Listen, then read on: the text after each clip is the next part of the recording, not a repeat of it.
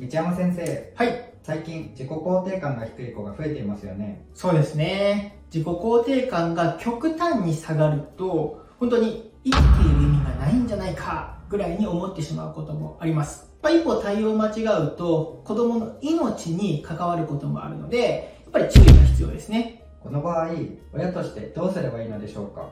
いい質問ですね。じゃあ今回は自己肯定感の上げ方。これについてね、ちょっと話していきましょうか。自己肯定感が上がってくると、他人に何か言われても気にならなくなったり、人間関係もうまくいきやすくなったりするので、本当にいいことづくめです。なので今回の動画を参考に、ぜひお子さんの自己肯定感、これを上げていただければと思います。わかりました。じゃあまず最初に自己肯定感と間違いやすい言葉に自己効力感というものがあります。まあこの違いについて簡単に説明します。お願いします。自己肯定感とは自分自身の存在、これを肯定する力のことです。一方、自己効力感とは自分ならできると考える力です。少しややこしいですね。結構ややこしいですよね。まあ、自己肯定感が高い子は、自分は生きている価値がある人間だと思えるので、まあ、自分の人生はきっとうまくいくと信じることができます。まあ、なので結果的には自己効力感も上がりやすくはなります。どういった子育てをすると自己肯定感が高い子になるのでしょうか？まあ、私はこれまでに1万組以上の親子の子育てをサポートしてきたんですけど、その結果、自己肯定感が高い子の親には3つの特徴があったんですね。で、今回はこれをじゃあ1つずつ説明していこうと思います。まあ、同じことを意識してお子さんに向き合っていただければ、おのずとお子さんのね、自己肯定感も上がっていくかと思います。お願いします。じゃあまず一つ目からいきますね。で、これは他の子と比べない親です。例えば、あなたは〇〇くんと比べて頭が悪いね。お前はどうしてお姉ちゃんみたいに勉強しないんだとか言われたら、どういうふうに思いますか？それは悲しいですね。めちゃくちゃ悲しいですよね。で、こんなこと言い続けられたら、自分は〇〇くんよりも価値がないんだなとか、お父さんは私よりもお姉ちゃんの方が好きなんだなっていうふうに感じてしまいますよね。すると自己肯定感が下がってしまいます。なるほ一方で、仮に〇〇くんやお姉ちゃんの方が成績が良かったとしても、お父さんやお母さんがあなたにはあなたのいいところがあるんだから大丈夫よと言ってくれたら、どういうふうに思いますか？ど。自信を持てますね。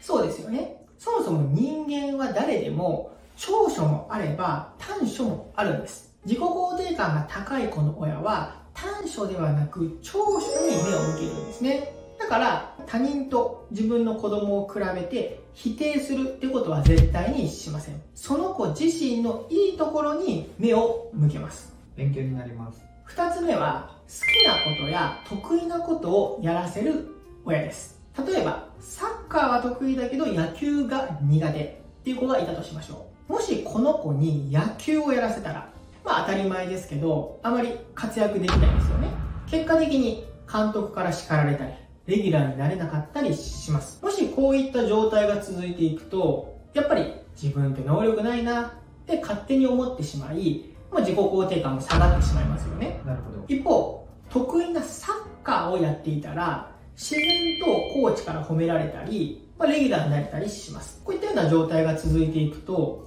俺って結構できる子かもしれないっていうふうに思って、自己肯定感も勝手に上がっていきます。そうですね。仮に今はそこまで得意ではなかったとしても、好きなことって子供は勝手に勉強したり練習するので、能力が上がりやすいですよね。最終的には得意なことになる可能性もあるので、同じように自己肯定感も上がりやすくなります。なるほど。3つ目は、こまめにいいところを褒める親です。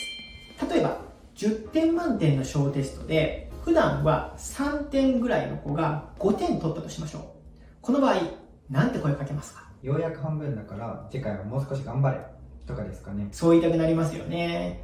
ただ、自己肯定感の高いお父さんお母さんというのは、5点も取れたんだ、頑張ったね、と言って声をかけます。まあ、実際に3点から5点に上がったのは、すごいことですもんね。確かにそうですね。まあ、この部分に目を向けます。すると子供はまだ半分の点数しか取れていなくても自分は5点も取れたんだと自信を持つことができますだから結果的に自己肯定感も上がっていくんですなるほどよくある例えでコップに水が半分入っている時に半分しか入っていないって思う人もいれば半分も入っているって思う人もいます。後者の人の思考になった方が子供の自己肯定感は上がりやすくなります。確かにそうですね。あと参考までに自己肯定感が上がると受験もうまくいくことが多いです。例えばこちら。こちらニックネームのてんてんさんという方なんですけどこの方はもともと子供のダメなところばかりに目がいってしまいいいところを褒めることができていませんでした。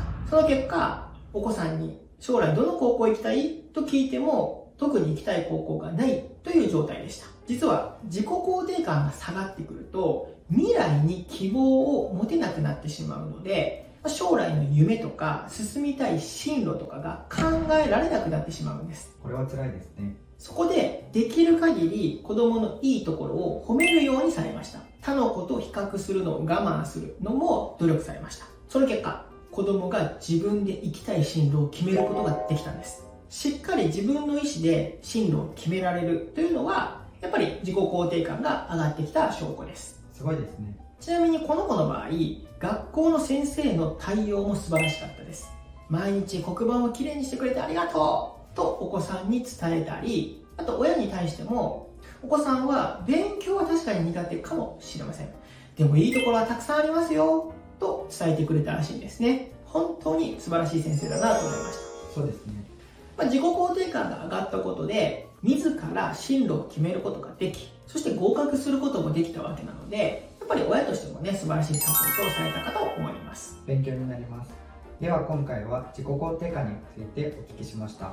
他の子と比べない好きなことや得意なことをやらせるこまめにいいところを褒める。